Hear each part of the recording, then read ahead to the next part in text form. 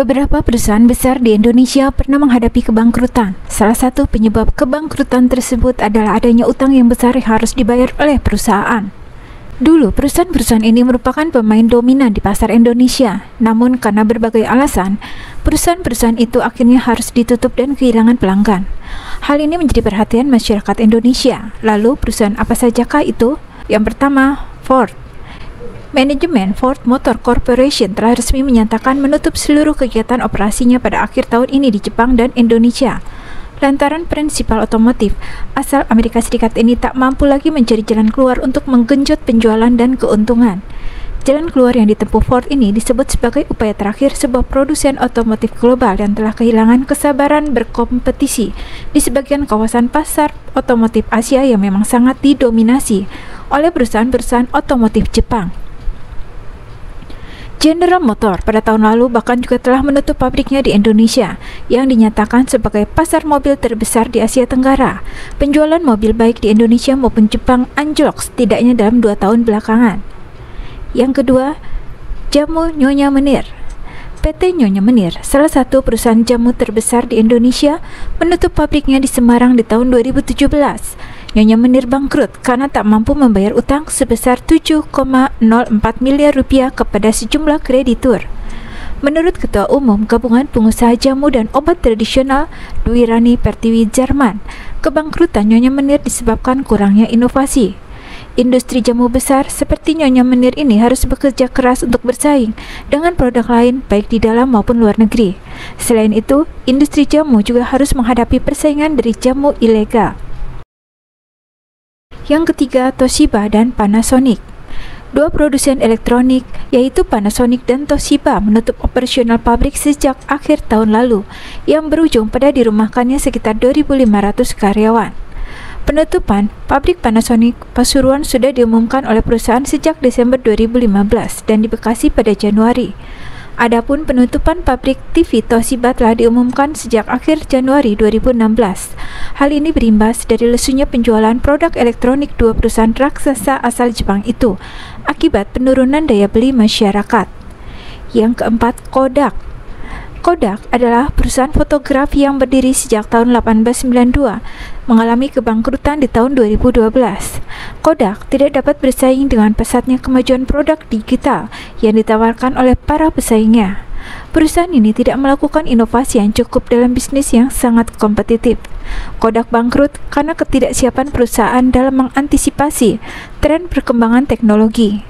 Kodak terlambat membaca peluang bisnis di segmen kamera digital, bahkan tidak menangkap peluang emas dengan kebesaran nama yang dimilikinya untuk meraih pasar yang lebih luas. Yang kelima, Seriwangi.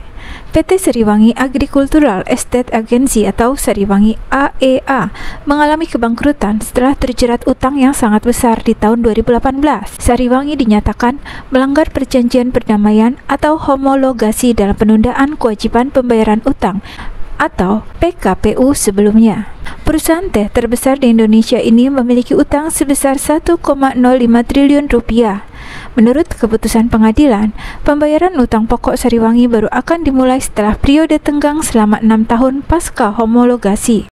Sementara itu, utang bunga harus dibayar setiap bulan selama 8 tahun pasca homologasi. Namun Sariwangi dan Indorup tidak pernah membayar utang bunga, bahkan hingga tanggal 9 Oktober 2017. Pembayaran baru dilakukan pada Desember 2017 sebesar 500 juta rupiah dan dilanjutkan secara berkala hingga Agustus 2018. Selain itu, penyebab kebangkrutan Sariwangi adalah kesalahan strategi bisnis dari kegagalan dalam investasi. Yang keenam, 7-Eleven.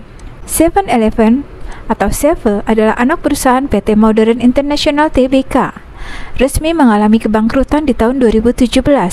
Penutupan seluruh gerai Sevel disebabkan oleh tingginya biaya operasional yang harus ditanggung. Yang ketujuh, Pepsi. Semua produk minuman dari PepsiCo berhenti dijual di Indonesia mulai 10 Oktober 2019. Penyebabnya adalah masa kontrak antara PepsiCo Incorporation dan PT Anugerah Indofood Barokah Makmur telah habis pada tanggal itu. Di Indonesia, Pepsi diproduksi oleh PT Pepsi Cola dan didistribusikan oleh PT Indofood Asahi Success Beverage. Pepsi dijual di toko, minimarket hingga restoran. Saingan berat Pepsi ialah Coca-Cola. Yang kedelapan, Merpati Nusantara Airlines. PT Merpati Nusantara Airlines yang telah pilot resmi dibubarkan oleh Presiden Jokowi pada 20 Februari 2023. Sebelumnya tercatat sudah ada enam maskapai yang bangkrut di Indonesia. Merpati Nusantara Airlines sudah tidak beroperasi sejak tahun 2014, bahkan sertifikat pengoperasiannya atau Air Operator Certificate telah dicabut di tahun 2015.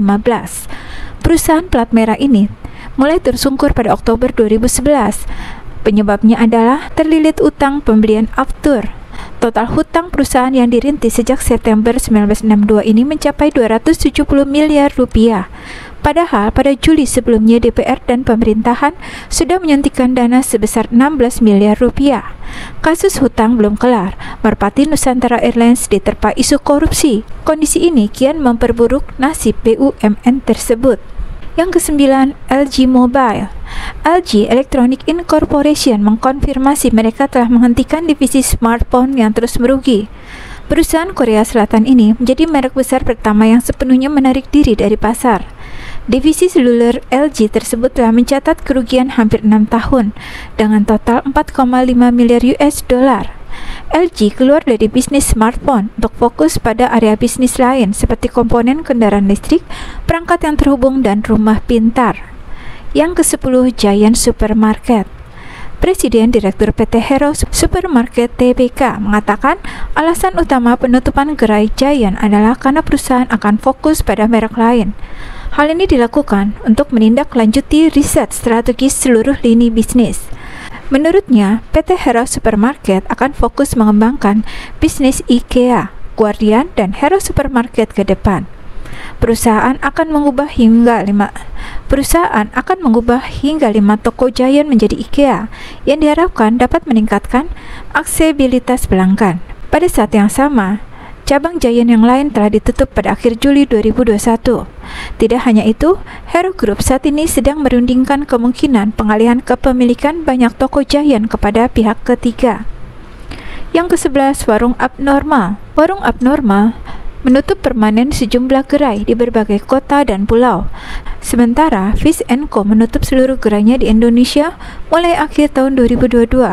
Hal ini terpantau dari pernyataan yang diunggah perusahaan lewat akun Instagram resminya.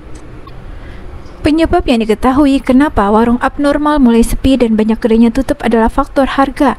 Ekspansi terlalu cepat, tidak mendengarkan informasi dari bawah, kurangnya penerapan menu yang tepat, kompetisi dan faktor demografi yang tidak diperhitungkan saat membuka gerai, serta dampak pandemi COVID-19 yang saat itu melanda Indonesia. Ketika warung abnormal pertama kali dibuka, cukup dengan uang Rp50.000 orang bisa membeli menu mie rebus atau mie goreng untuk dua atau tiga orang. Kemudian, uang 50 ribu tidak lagi cukup untuk membeli menu tersebut. Yang ke-12 Holy Wing. Pemprov DKI menjelaskan penutupan gerai itu lantaran rekomendasi dan temuan pelanggaran izin dari Holy Wings Indonesia. Sebagian besar masyarakat Indonesia selama ini mengira pemilik Holy Wings adalah pengacara kondang Hotman Paris Hutapea dan artis Nikita Mirjani. Keduanya memang ada peran di dalamnya, namun hanya sebagai pemegang saham. Lantas siapa pemilik Holy Wings sebenarnya? Dia adalah Ivan Tanjaya dan Eka Setia Wijaya. 13 Batavia Air pada 30 Januari 2013, Batavia Air dinyatakan pilot oleh PN Jakarta Pusat karena ada permohonan yang diajukan perusahaan sewa guna pesawat International Lease Finance Corporation atau ILVC. Sejak itu maskapai itu berhenti beroperasi dan bangkrut. Batavia Air dipilotkan oleh IFLC karena tidak mampu membayar utang sebesar 4.688.004 07 US dollar yang jatuh tempo pada 13 Desember 2012. Utang piutang itu terkait dengan pesawat Airbus 330. Seperti Batavia terlilit dalam perjanjian sewa pesawat yang dibuat pada Desember 2009 dan berlaku hingga Desember 2015. Namun pada Desember 2012 Batavia Air belum juga membayar sewa dari tahun pertama. Yang ke-14 Adam Air Tepat 18 Juni 2008, karir Adam Air, maskapai murah yang pernah menjadi yang terbaik di Indonesia, berakhir.